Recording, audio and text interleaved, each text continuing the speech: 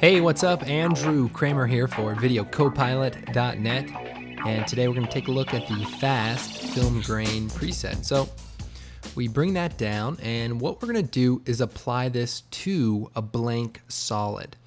So create a new solid, and just make sure it's comp size, and OK. And then we'll take our film grain preset and drop that onto that footage. And first thing we'll do is change the transfer mode to overlay. And then you should see the grain right on top of your footage. Now, leave the effects gray alone. That just makes sure the layer is a middle gray color. And you can play with the noise amount, um, color noise, um, pretty much similar settings to the regular noise, except by applying it to a gray solid we can change it to overlay and then control what it looks like. So we can soften it a bit by blurring it out.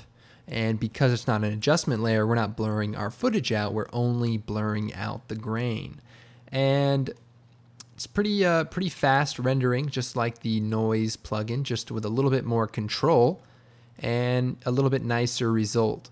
So as you can see, we've added our grain. And of course, this is a great way to add realism to your still images or things that are composited into your image that don't have any grain or your 3D animation. So your footage is going to have a little bit of grain, but your elements may not. And so you may want to add a little bit of grain to kind of make everything blend together. And just remember, don't overdo it, just enough grain to sell the effect. Well, anyway, I hope you guys found this preset useful, and uh, we'll see you next time.